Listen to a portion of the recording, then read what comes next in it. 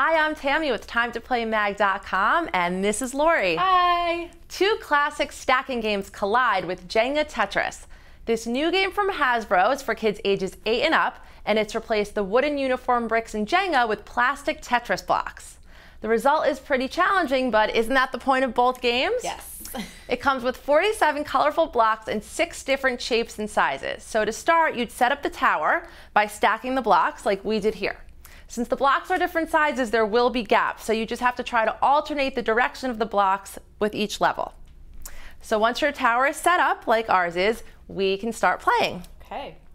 You can play this alone by just trying to beat your highest tower every time, or you can play with as many players as you'd like, so we're gonna play with the two of us. So this is played just like classic Jenga, where you have to remove a brick from one of the lower levels. So I'm gonna go first. Ooh. There you go. And then I place it on the top level, all using one hand, Okay. and try not to knock it down. So now you would go. Let's try this one. So the one difference between this game is that if you can't place it on the highest tower, you are allowed to also place it one level down. That's good to know. Ooh, that does not look. Uh oh. Ooh, you got a funny shaped one. Uh oh. Ah. Oh no, this is probably a bad idea.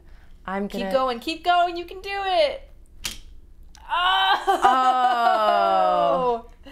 Wow. That was pretty lucky, I have to say.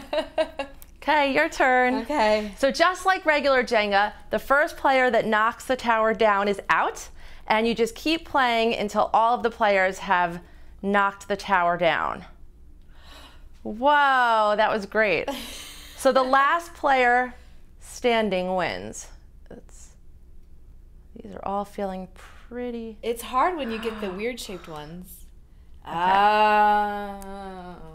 So I think this game's really challenging, but I do like the marriage between these two stacking games. That's right. Oh, I guess I'll keep going. Oh, I don't want to do that one. Oh, I don't want to do that one. Okay. Uh, uh, uh, just stack it there. Ah! Okay, I'm gonna try for this one. Oh no. Ah!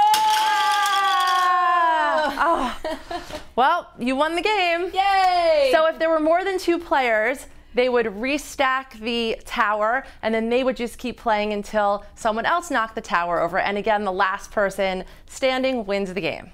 So I think this is a really fun version of yeah. Jenga, and, And Tetris, Tetris. fans will love this. For more information on this product and the best toy reviews online, visit us at timetoplaymag.com, your number one source for all things play.